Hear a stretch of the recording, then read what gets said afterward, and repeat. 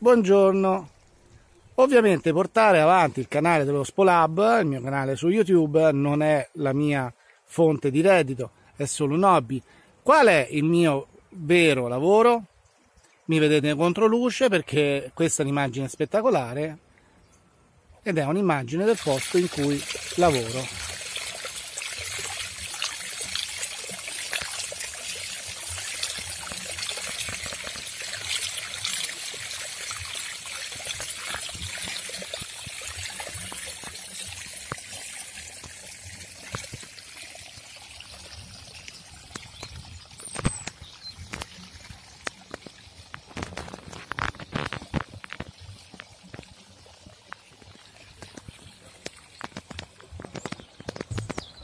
Ecco qua. Siamo durante il secondo lockdown e non c'è nessuno. Questo è il parco termale del Bagnaccio, recentemente rinominato un po' Bagnaccio Terme Natura. È un parco termale che esiste da, da tantissimi anni, ma ormai da circa 10 anni è regolarmente gestito. Prima così, un po' come capitava.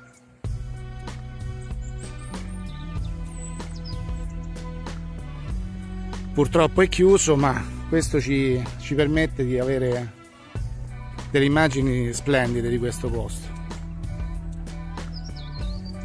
Parco termale perché? Ci sono delle vasche tante.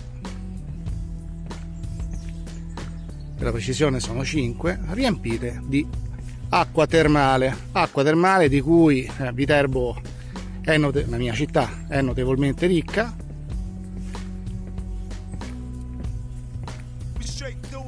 tecnicamente è una acqua bicarbonato alcalino ferrosa solfurea. Queste sono tutte vasche negli anni fatte da chi veniva qui a sfruttare le acque. Qui vedete un po' tutto dismesso perché chiaramente se ne è la buona occasione per ricominciare a fare delle opere di manutenzione che normalmente sarebbero un po' complicate da fare con la gente anche perché questo parco è aperto sempre non chiude mai. Questa è la diciamo la parte clou del bagnaccio così come del bullicame delle piscine Carletti delle ex Massi San Sisto cioè di tutti quei posti dove qui a Viterbo ci sono delle piscine alimentate d'acqua termale. Questa la si chiama polla, tecnicamente una emergenza secondo i geologi, geologi. Emergenza perché emerge l'acqua.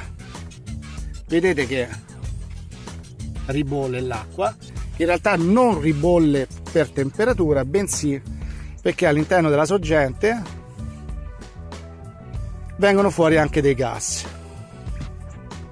anidride carbonica ma anche idrogeno solforato che poi è quello che dà il caratteristico odore di uovo lesso a, a questo tipo di sorgenti. Questa è un'altra polla.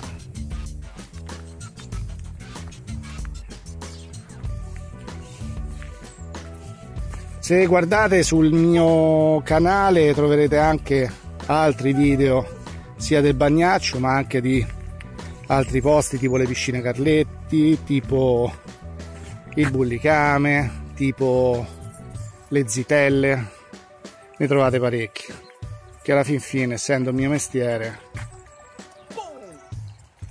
ci dedico anche passione e studio, perché a me piace essere così.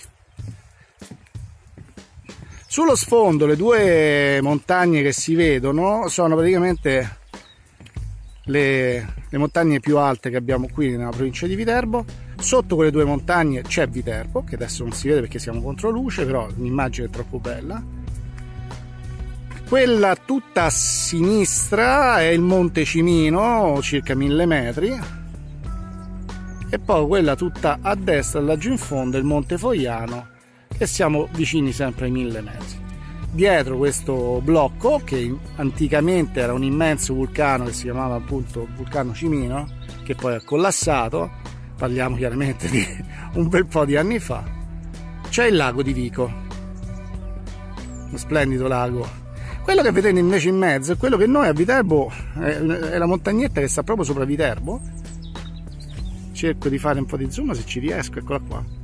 Quella è la Palanzana, che a Viterbo è nota per essere un vulcano spento, in realtà non è un vulcano, è semplicemente un ammasso di, di materiale vulcanico. Infatti non ci sono tracce di crateri in cima alla Palanzana. Ecco qua. Non ho parlato dell'acqua a quanto sgorga. Alla sorgente l'acqua sgorga a 63 gradi. Poi nelle vasche chiaramente dipende tutto dal tempo, da quando è stata riempita, eccetera. Questo è uno dei pochi posti in Italia dove praticamente le vasche vengono ripulite tutti i giorni, perché queste non sono vasche piscine. Queste noi le chiamiamo le pozze qui a Viterbo. Sono delle, delle vasche che non hanno tutti i meccanismi tipici delle piscine. Queste vengono semplicemente riempite di acqua termale la mattina, durante la notte, continuate a riempire durante il giorno quando la gente ci fa il bagno, poi la sera vengono svuotate, spazzate, ripulite bene e via, si ricomincia a, ri- a riempirle. Considerate che per queste tre vasche, solo queste tre vasche, ci vogliono circa 12 ore per, un completo riempimento. Ecco qua. Oh, prima avete visto un attimino questa piccola vasca. Questa qui ecco qua. Noi l'abbiamo ribattezzata B4 perché le abbiamo numerate. B sta per bagnaccio ovviamente. Ma in realtà questa dovrebbe essere chiamata la B1 perché è la vasca più vecchia ed è stata fatta aggiungendo fango semplicemente fango e paglia nel corso degli anni Qui quando tutto era tutto abbandonato, peraltro era tutto bianco perché era tutto pieno di questo materiale che viene generato praticamente da quest'acqua che è il bicarbonato di calcio, che è quello contenuto principalmente in quest'acqua. Peraltro adesso, a proposito di bicarbonato di calcio, se vedete la superficie dell'acqua è leggermente opaca. È il minerale che sta emergendo e si sta cristallizzando sulla superficie della, dell'acqua. Questa è una cosa che si può vedere quando non c'è nessuno perché la gente se no facendo il bagno la romperebbe. Mentre invece vedete che bello. Questa se andiamo là col dito praticamente vediamo che si rompe. Sempre il bicarbonato di calcio che è quello che praticamente dà il colore bianco. Un po' qui chiaramente è stato rifatto. Questo qui eccolo. Qui era tutto bianco, era una volta, poi dopo è stato ripulito, messo a giardino, compratino. Questa una volta quando era, non era gestito era praticamente il, il parcheggio. Si arrivava con le macchine qui a ridosso di questi massi che furono messi apposta uno scendeva dalla macchina e cadeva direttamente in auto. Con tutto quello che ne conseguiva ovviamente disordine eccetera eccetera non c'era recinzione non c'era nulla qui era tutto bianco. Tutto completamente bianco da questa parte in realtà tanti tanti anni fa c'era un'altra vasca e poi è stata smantellata. Ecco queste sono il carbonato di calcio, le concrezioni, quelle originali, come queste. E qui dietro c'è una cosa molto curiosa, praticamente questa cosa qui che gente civile ha riutilizzato come posacenere questa è una sorgente termale estinta, da qui sgorgava l'acqua e piano piano nel tempo ha creato questa concrezione. Così. Oggi il bagnaccio non prende l'acqua solamente da quelle polle che abbiamo visto prima bensì le prende da, da qui. Nel 1952 la società elettrica dell'acciaieria di Terni che si chiamava appunto la Terni che era quella che chiaramente era demandata a trovare l'energia per mandare via avanti le, le acciaierie nel 1952 non c'era l'Enel il mondo dell'energia elettrica era completamente privato e ognuno provvedeva per sé. fece una campagna di ricerca di ecco qua fece una campagna di ricerca di, songe- di loro li chiamano sorgenti endogene. Praticamente pensavano di fare un po' quello che si fa in Toscana all'Arderello ovvero vedere se c'era la possibilità di creare dei geyser con cui mandare avanti le turbine e farci centrali elettriche. Fecero una serie di pozzi parecchi. Questo è uno dei più profondi originariamente di 700 rotti metri. Poi videro che non ci si poteva fare nulla con queste, con queste perforazioni e i pozzi vennero tombati, chiusi e abbandonati. Fate caso, ci sono, non so se si vede, ai quattro lati ci sono questi blocchi di cemento che erano, avete presente i, pozzi petroliferi, no? Quando fanno vedere i pozzi petroliferi, le trivelle, ecco, quelle erano le, le, le basi della capra che supportava la perforazione. Ecco, oggi Bagnaccio prende l'acqua da questo pozzo che è stato rimesso in funzione nel 2008 dopo la sua esplosione. E l'acqua di Bagnaccio oggi viene da lì. Chiaramente nel passato quando furono questi, queste trivellazioni in realtà fecero un grande danno al bacino idrotermale asciugando sorgenti che esistevano da, da centinaia di anni, sono da millenni e poi in realtà dopo quando sono stati chiusi ne hanno create altre che per la forza dell'acqua chiaramente da qualche parte doveva uscire. Le polle che abbiamo visto prima lassù eh, sono appunto un frutto ci dicono i geologi chiaramente quelli esperti della materia. Sono nate quando è stato richiuso questo pozzo che sa l'acqua da qualche parte deve andare. Una volta che gli abbiamo trovato un canale preferenziale lo, lo chiudiamo nuovamente l'acqua deve trovare la sua strada. Ecco qua.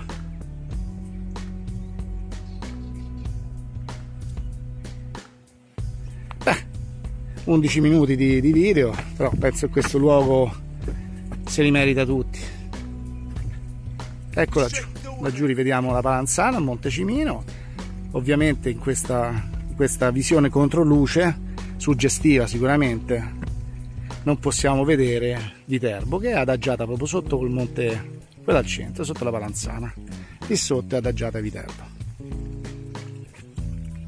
Una cosa simpatica, laggiù dietro quel cancello c'è una strada bianca che è la strada che oggi si chiama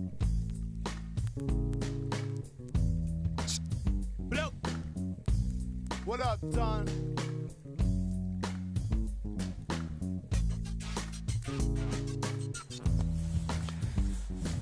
Allora, laggiù al centro dell'immagine, appunto questo piccolo monte, la Palanzana, sotto di esso adagiata c'è Viterbo, non vediamo nulla perché siamo contro luce, visione molto suggestiva, ma chiaramente andiamo a parlare di una cosetta molto importante che c'è qui, cosetta riduttivo. La strada che porta al Bagnaccio è in realtà una strada molto importante perché è il vero tracciato dell'antica via Cassia. Eccola qua. Quella che oggi è un'anonima strada di campagna corre proprio laddove c'era l'antica via Cassia. Qui intorno è pieno di rovine romane e di terme romane. Alla nostra sinistra c'è un casale che è chiamato Casale delle Cuffie, in realtà lì c'erano delle terme romane, le terme della colonnella, poi alla fine di questa strada, quando incrocia la provinciale per Marte e Capodimonte ce n'è un'altra e poi da lì c'era un grande impianto termale delle acque Passeris importantissimo che è sopravvissuto fino al 500 poi è stato distrutto dalle Anzichenecchi ci ha fatto il bagno anche Michelangelo, Vasari, San Gallo. Abbiamo delle immagini. Alcuni pezzi sono in giro per Viterbo sono alcune colonne Ecco, vedete, Viterbo è lontana laggiù, la Cassia sta qua perché all'epoca Viterbo non c'era, c'era giusto un piccolo villaggio etrusco, poi chiaramente occupato e acquisito dai romani. Quindi una, un villaggio di poco conto. Viterbo si svilupperà circa intorno al 1000 e quindi all'epoca la, Cassia passava qui e andava giù dritta, fin laggiù, laggiù in fondo all'orizzonte, dritta come un fuso e erano 14 km da appunto questa zona che siamo a nord di Viterbo fino al sud di Viterbo, che è quella zona che è nota a chi frequenta le terme di Viterbo come Massi di San Sisto. Ecco, laggiù c'era un altro importante impianto termale, anzi due in epoca romana, e l'intorno ancora ci sono proprio dei pezzi di basolato originale della Cassia ancora visibili, in parte sono stati alcuni ristrutturati, restaurati anzi, forse è il termine più giusto. Ed ecco qua. Quindi è un luogo che oggi è così, ma è pieno di storia, c'è poco da fare.